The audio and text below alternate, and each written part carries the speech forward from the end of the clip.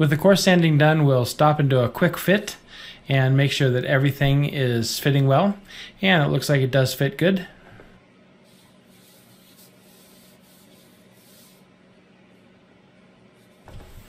So we'll actually uh, continue sanding.